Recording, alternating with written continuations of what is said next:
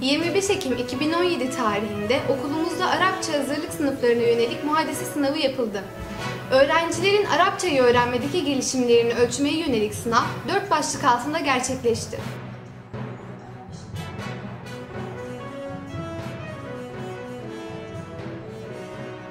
Her bir öğrenci için ayrı ayrı yapılan sınav yaklaşık 10 dakika sürdü. Öğrencilerin heyecanlı olduklarının gözlerden kaçmadığı sınav saat 8'de başlayıp 12'de sona erdi.